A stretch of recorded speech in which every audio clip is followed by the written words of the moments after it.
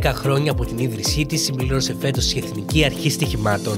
Από τις 11 Ιουλίου 2012 εκτελεί ένα σημαντικό κοινωνικό ρόλο, αρχικά ως ανεξάρτητη αρχή και στη συνέχεια ως ένα νομικό πρόσωπο δημοσίου δικαίου. Με αφορμή λοιπόν τα 10 χρονά της, η Εθνική Αρχή Στοιχημάτων παρέθεσε πρόγευμα, κατά τη διάρκεια του οποίου η πρόεδρος της αρχής, η Ιωάννα Φιάκου, παρουσιάσει όσα σπουδαία έγιναν την τελευταία δεκαετία, καθώς και όσα πρόκειται να ακολουθήσουν.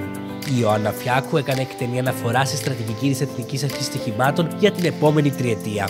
Αυτή περιλαμβάνει μεταξύ άλλων πλήρη υιοθέτηση της έννοιας ασφαλούς παιχνιδιού, ολιστική προσέγγιση βασισμένη στο μοντέλο δημόσιας υγείας, μείωση των επιβλαβών συνεπειών στην κοινωνία, καθώς και δημιουργία κατάλληλων συνθηκών για ένα ασφαλές και βιώσιμο μέλλον της αγοράς του στοιχήματος και των τυχερών παιχνιδιών.